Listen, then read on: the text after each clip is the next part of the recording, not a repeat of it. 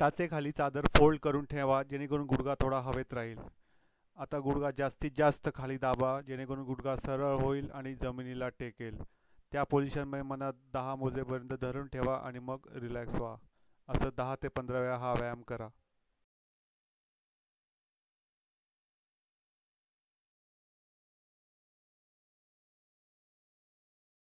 बेडवर सरळ झोपा ऑपरेशनचा पाय गुडघ्यात न वाकवता ताठ सरळ हवेत उचलायचा मनात दहा ते पंधरा मोजेपर्यंत धरून ठेवायचा आणि मग खाली आणायचा. असं दहा ते पंधरा वेळा करा.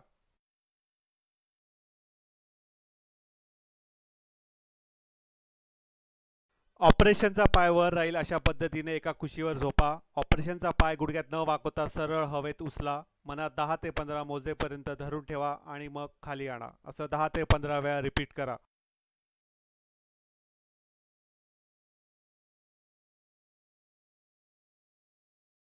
दोघी पाय बेड किंवा चेअरपासून खाली सोडा. ऑपरेशनचा पाय गुडघ्यात जास्तीत जास्त वाकवा. त्या पोझिशनमध्ये मनात दहा ते पंधरा मोजा आणि मग रिलॅक्स व्हा.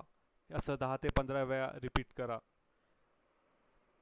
यात तुम्ही चांगल्या पायाच्या मदतीने वरून दाबू शकता जेणेकरून पाय जास्तीत जास्त वाकवायला मदत होईल.